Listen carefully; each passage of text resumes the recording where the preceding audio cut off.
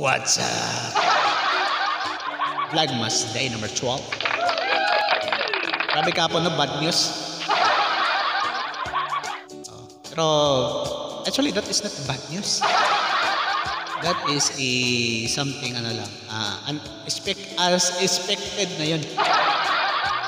Kasi ano, sabi pa lang ng teacher ko dati, the teacher, uh, expect for the worst. Wag always pick always ng mga something uh, chill chill lang. Wala lang, wala lang kasi kaya. You always pick for the worst para you become more prepared. Dili prepare, ah, prepare. Mas preparado tayo siya. Yan. Preparation. So, guys, no, I just want to give you a kasi nasa YouTube tayo. How do you prepare, no? Gawa kayo ng vlog, gawa kayo ng content. Ano ba yung prepare niyo? Yan po ating sasagutin ngayon sa aking part. On my part.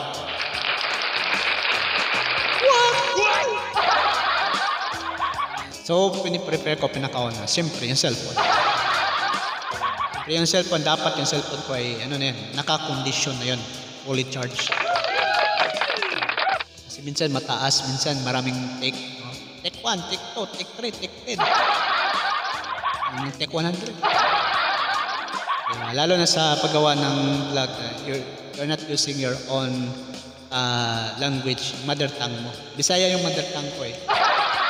Yung Tagalog, marami talagang bulol part. Maraming mga something mali na pagbigkas, mali na pag-pronounce, maling gamit ng salita. Kaya maraming take. Okay? So, prepare ko, most especially, pinaprepare ko talaga yung script. Hindi na ng scripted. Yes po. Yung Ken's TV, mga scripted yun. Kasi tutorial yun eh. Hindi yun ano eh, prank lang. Hindi yun mga something vlogs na basta-basta lang. Yun po ay tutorial po. Kaya nilalagyan talaga natin ng script. Okay? Mas especially gumagawa ko doon ng mga YouTube tutorials, mga YouTube tips, mga something, mga tips po na binibahagi ko po sa mga viewers. Marami-rami mga viewers. Dapat, konti lang. Pero ngayon, at least ngayon, ah, ano na eh, tuloy-tuloy tayo sa something, ano na lang, ah, non-voice, okay, non-voice videos na mga tutorials in which uh, matik na po yung mga text. Doon na tayo sa text. But preparation, meron rin. Cellphone dapat prepare. Yung mga video, mga video rules, mga video na gagawin ko ng tutorial is andun na rin po. Ni-prepare ko na yon. Okay, I'll study first. I research first. Kasi hindi maganda kapag copy-paste mo lang. At lahat mo, kinakopy mo lang.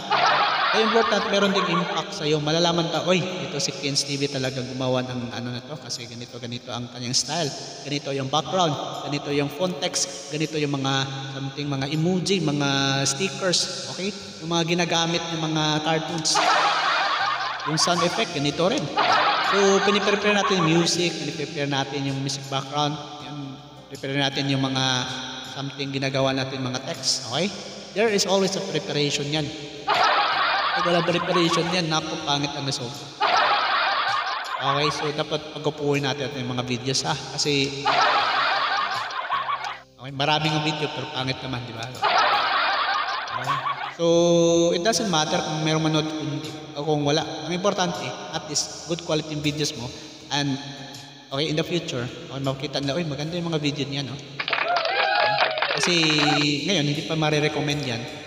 Okay? Pero on long run po, magawa lang kayo kung continue kayo making of good quality videos po. Na kung meron, ma- meron at meron talaga makagusto. Keep going lang, keep going lang guys. So, prepare rin no, kapag kayo mag-vlog, meron kayo personal vlog, prepare niyo rin po ang place. Doon ba binablog niyo, maingay ba? Ano ba dapat, no? Okay, nakaprepare yung something pang audio ninyo, no? Support sa audio niyo, meron mga, mga microphone, Bluetooth microphone, mga wireless pa dyan. Ang lighting, importante rin yun. Kung meron kayong ringless, mas maayos, no? Pero kung sa labas naman, pili din kayo na hindi masyadong madilim. Ang importante makikita rin yung karakter eh. Importante rin makita yung karakter, makita rin po yung something surrounding. Kung ano pa lang yung surrounding nandun. Lalo-lalo na kapag adventure vlog kayo. Ay, maganda yung preparation rin nyo. At prepare nyo kayo kung adventure vlog na vlogging naman kayo ay importante rin po na ano eh, gusto talaga kayo eh. Preparation of funny. Siyempre, alam po ka kayo dito, wala kayong pamplate eh. Ako, nako, ako, kung meron kayong motor, wala kayong gas. Importante rin meron kayong pera. Okay, entrance naman, hindi kayo makapasok, walang entrance. Kung ganun eh, dapat yung entrance fee, bayaran ninyo eh. Siyempre, kailangan nyo kumain. So, money involves yan dyan doon no, sa mga adventurist, doon, mga adventurist na tao. Nag-adventure talaga. Okay? Importante yung preparation. Okay? Okay, kung meron kayong taong involved, do you prepare, no? Sinabihan niyo ba, on the spot ba? Papayag o hindi? Dapat nakabook na kayo niyan. Kaya importante, baka meron siyang importanteng lakad din kayo. Bakit kayo, ay punta tayo doon. Siyempre, busy ako. So, dapat nakabook na. Sabihin ninyo, okay, guys, ah, pare, Sunday magbablog tayo doon. Doon doon tayo. Doon. Ah, sige pare, schedule natin yan. Okay? You just uh, have the preparation rin. Prepared mo sila kasi okay, involved sila sa video mo. Okay? Pero na lang kung hindi. Preparation. No? Importante yung preparation sa vlog. After po, na-prepare mo na lahat. Uh, sit up. Okay? Everything. Prepare na lahat-lahat. No? Yun yung pag-vlog ninyo. Tingnan mo yan. After that one, anong preparation mo naman sa pag-edit? Ano, meron ba kang apps na ginagamit? Meron ka bang something na ginagamit na dapat mong anuhin, di ba? Wala ba yung memory card mo? Meron ka bang gamit ng mga storage? Okay, for exporting, importante yan eh. Prepared mo always. Pag okay na yung video, okay, ayan, ito na po. From raw video, edited na video na, final video for uploading. Okay? Na-prepare mo na ba yung title? Na-prepare mo na ba yung description? Na-prepare mo na ba yung thumbnails? Okay, importante rin yan. Preparation always. So, prepare mo yan. Bago mo yan upload. Okay, meron ka ng idea. Okay, itong thumbnails na ito dapat ito kasi bagay eh. Nakaka-attract to eh. Okay, so before that, ano, ah, sa video ninyo, gagawa kayo ng video, dapat ah, meron kayong picture taking. Okay, picture picture niyo para mas maganda kasi screenshot galing sa pangit. Maganda na meron din na, na picture na niyo para thumbnails. Okay? Yung title rin dapat bagay ah. Prepare niyo lahat-lahat po. Maganda yung preparation niyo sa video niyo para good quality yung mga videos niyo. Always have this preparation.